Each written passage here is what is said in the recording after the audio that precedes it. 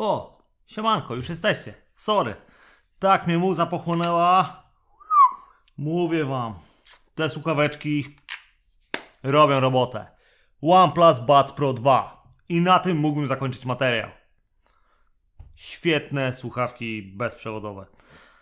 Czy kupiłbym je ponownie? Zdecydowanie tak. Czy są to najlepsze słuchawki bezprzewodowe? Na pewno nie. Na pewno można na rynku dostać lepsze, ciekawsze, porównywalne. Ale w tych słuchawkach prawie wszystko mi pasuje. Mam wrażenie, jakby były naprawdę stworzone dla mnie. Mają jedną wadę. Ale teraz wam. Teraz na wstępie na pewno wam o niej nie powiem. Czekajcie do końca. Zaskakująca wada. Nie wiem, czy tych słuchawek, czy mojego drugiego sprzętu, z którym się nie chcę połączyć. To już was nakierowałem trochę, o co mi chodzi, ale to później o tym. A teraz intro.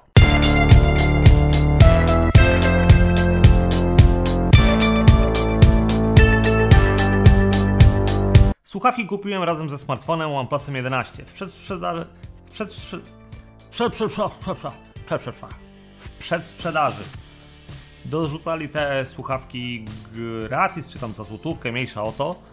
Yy, ogólna ich wartość na dzień dzisiejszy coś około 8 stówek. Czy są tego warte? Sprawdźmy to. Słuchawki TWS zagościły w naszym życiu na dobre. Takie małe pchełki to rzecz, bez której wielu z nas nie potrafi się obejść. Zmieszczą się praktycznie do każdej kieszeni, dlatego bez problemu można je zabrać dosłownie wszędzie. Umilą nam chwilę na spacerze, na rowerze czy jadąc autobusem do pracy bądź na uczelni. Ale na rynku jest mnóstwo różnych modeli. Od najtańszych za kilkadziesiąt złotych, po te najdroższe za kilkanaście tysięcy. A czym wyjątkowym wyróżnia się dzisiejszy bohater?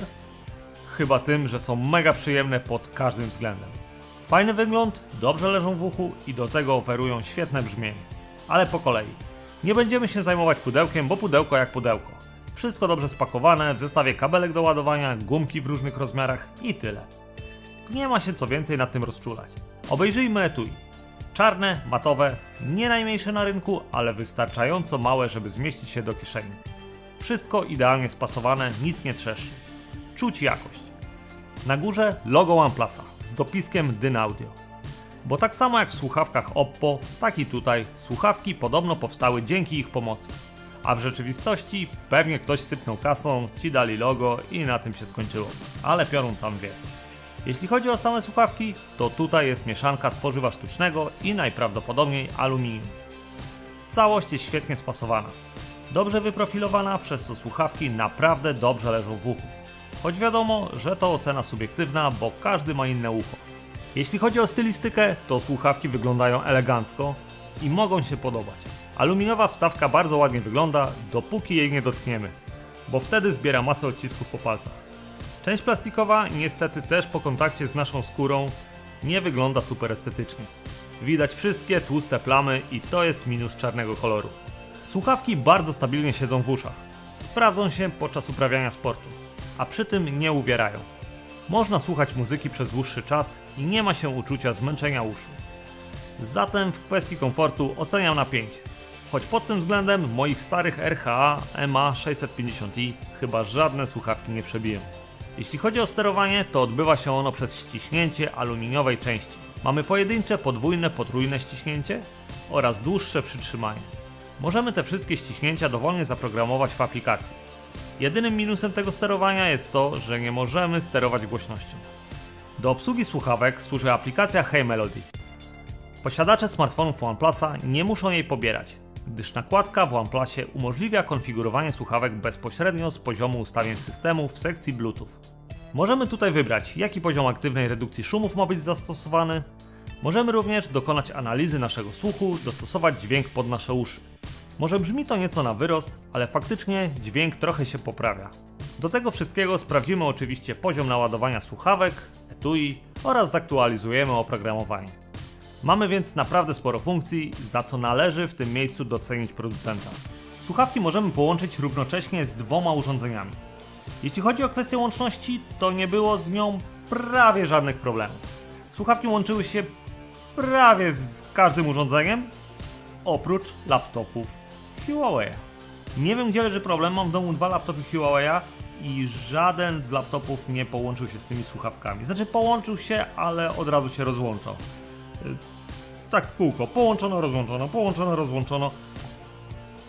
Aktualizowałem oprogramowanie słuchawek, nic to nie dało. Nie wiem czy to wina OnePlusa czy Huawei'a, bo z tymi laptopami każde inne słuchawki bez problemu się łączą.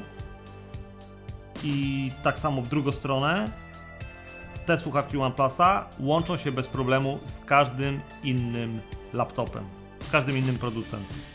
Także ewidentnie coś jest na linii OnePlus Huawei, coś tutaj się gryzie. Nie mam pojęcia, gdzie leży przyczyna. Dajcie znać w komentarzach, czy mieliście podobne problemy, czy komuś z Was udało się to rozwiązać, bo mi niestety nie. Dobra, lecimy dalej. Mikrofony w Buds Pro 2 sprawują się naprawdę dobrze. Druga strona wszystko wyraźnie słyszała i nie narzekała na zakłócenia. Za brzmienie odpowiadają podwójne przetworniki. 11 mm obsługuje niskie i średnie tony, a 6 mm tony wysokie. I co tu dużo mówić, brzmienie jest naprawdę świetne. Dźwięk generowany przez Buds Pro 2 jest krystalicznie czysty i charakteryzuje się szeroką sceną. Niskie tony są wyraźnie zaznaczone, mają odpowiednią moc, są głębokie i dosyć miękkie. Średnica czysta, klarowna, lekko wycofana, a wysokie tony bardzo wyraźne, ale nie kłują w uszy. Całość jest zestrojona tak, żeby nie męczyła, czyli przyjemnie, wyraźnie, z ładnie zaznaczonym dosyć miękkim basem. Fajnie, że OnePlus zastosował tutaj obsługę kodeka wysokiej jakości LHDC, który jest oczywiście lepszym rozwiązaniem od podstawowych SBC i AAC. Słuchawki oczywiście obsługują aktywną redukcję szumów. I od razu trzeba jasno powiedzieć, że te słuchawki nie są dla osób, które szukają maksymalnego odcięcia. ANC należy raczej do tych bardziej subtelnych. Nawet ustawione na maksimum nie odcina tak dobrze jak najlepsze słuchawki konkurencji. Mi osobiście to nie przeszkadza, bo i tak zwykle mam redukcję wyłączoną, ale rozumiem, że są osoby, którym może na tym zależeć. Więc od razu mówię, ANC jest, jest zauważalne, ale nie jest najbardziej skuteczne na rynku. Na pochwałę za to zasługuje bateria. Ciężko mi określić ile działają na jednym ładowaniu, bo bym musiał słuchać ich ciągiem przez kilka godzin i nie odkładać do etui. Ale producent deklaruje, że słuchawki pozwolą na słuchanie muzyki przez 9 godzin bez włączonego ANC, a razem z etui łącznie do 39 godzin.